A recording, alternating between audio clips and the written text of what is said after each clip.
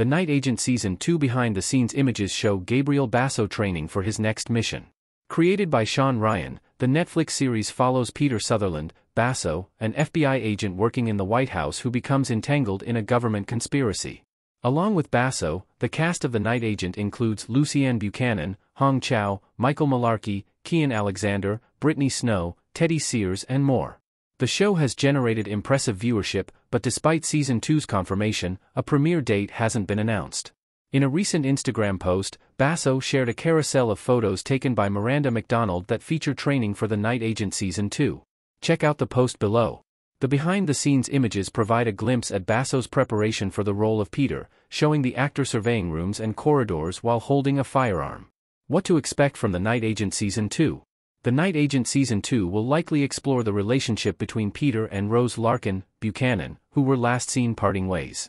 Aside from their characters, it was revealed that upcoming episodes will feature a new cast, suggesting a change in the story. The first installment contained several action sequences involving shootouts and car chases, so it's worth wondering how amplified those kinds of scenes will be in the Night Agent Season 2. Given the photos, audiences can expect Peter to be back on the ground, at the center of it all. At the end of The Night Agent Season 1, Basso's character learned about his father, who considered working as a double agent and ultimately died from opposing forces. It changed his perception of the matter and left him wanting to know who was responsible. President Travers, Kari Matchett, then made Peter a night agent, and he set off on his first mission.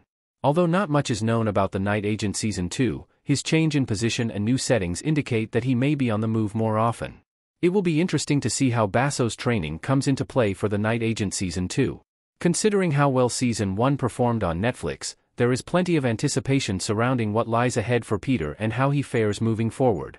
Based on the new behind the scenes photos, it seems likely that things are only going to get more intense for Peter from here on out.